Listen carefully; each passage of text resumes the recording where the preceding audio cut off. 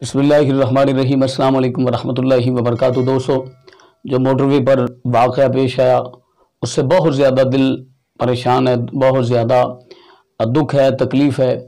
لیکن بہت سارے لوگ بکواسات کر رہے ہیں۔ جی اس میں عورت کی مرضی شامل ہے وہ اس عورت کا قصور ہے۔ اس طرح کی باتیں کر رہے ہیں۔ تو ہم اس سے حقیقت سے پردہ اٹھائیں گے کہ اس کی اصل حقیقت کیا ہے اور ہوا کیا تھا۔ بہت سارے لوگ ایسے ہیں جن کو ان باتوں کا علم نہیں، لیکن وہ وہ ان باتوں پر تبصرہ کرتے ہیں، انہیں شرم بھی نہیں آتی۔ ایک تو ان کے ساتھ اتنا بڑا ظلم ہو گیا، زیادتی ہوگی اس عورت کے ساتھ، اور بچوں کے سامنے زیادتی ہوئی۔ لیکن دوسرا جو ہمارے لوگ ہیں تبصرہ کرنے والے، ان کو بالکل بھی شرم محسوس نہیں ہوتی۔ وہ کہتے ہیں جی اس اس کی مرضی تھی، اس کی مرضی نہ ہوتی تو وہاں پہ پٹرول ختم ہونا تھا۔ وہ لوگ کیسے آئے، کیوں آئے، ان کو کیسے پتہ چلا؟ بھائی، آپ ان باتوں پر تبصرہ کرنا خدا کے لیے بند کریں۔ خدا کے لیے ان باتوں پر تبصرہ کرنا بند کریں۔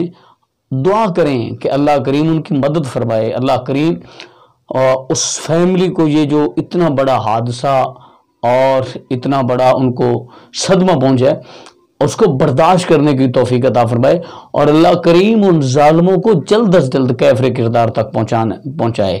تو آپ تبصرہ کر رہے ہیں جو اس میں عورت کی مرضی تھی، عورت کی رضا تھی، یہ تھا، وہ تھا۔ یار، خدا کے لیے کسی کو تو چھوڑ دو یار۔ کسی کو تو چھوڑ دو۔ اس طرح کی باتیں پلیز پلیز مت پھیلائیں۔ ٹھیک ہے؟ بس آپ ان کی، ان بیچاروں کی مدد نہیں کر سکتے تو ان کی دل آزاری کیوں کرتے ہو؟ کچھ تو خوف خدا کرو۔ بہرحال میں یہی آپ سب سے اپیل کروں گا، وہ عورت بیچاری بے قصور ہے، اس کا کوئی بھی اس معاملات میں عمل دخل نہیں۔ وہ تو ان ظالموں نے ان کے ساتھ جو کیا، وہ سب کو پتہ ہے، ٹھیک ہے؟